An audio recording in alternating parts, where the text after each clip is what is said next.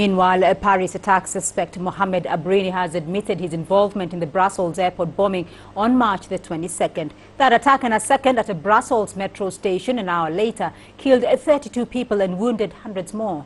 Abrini was arrested on Friday and on Saturday he told investigators that he is the man in the hat caught in the airport security cameras.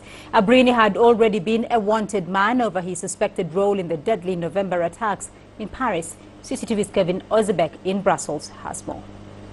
Belgian federal prosecutors say Muhammad Abrini made the confession after, uh, in the words of the prosecutor, he was confronted with the results of different expert examinations. So clearly interrogators presented him and showed him some type of evidence they were able to collect. And after seeing that evidence, Abrini confessed to being that man in the hat. This is uh, the person who was seen walking alongside the two suicide bombers at the international airport here in Brussels shortly before the attack. So now that prosecutors have confirmed that is in fact Abrini, uh, they also released to the media that Abrini admitted to ditching that white or light color jacket shortly after the attacks, after he left the airport. And he also told interrogators that that now infamous black hat he was wearing to help conceal his identity, he sold that shortly after the Brussels attacks to try to get rid of that evidence.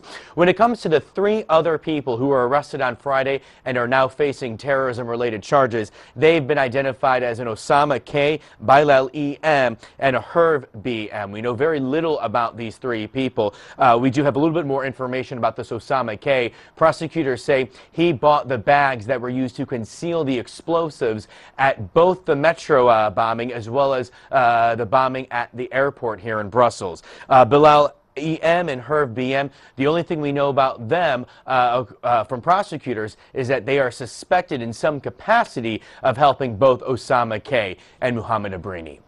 Kevin Ozebek, CCTV, Brussels.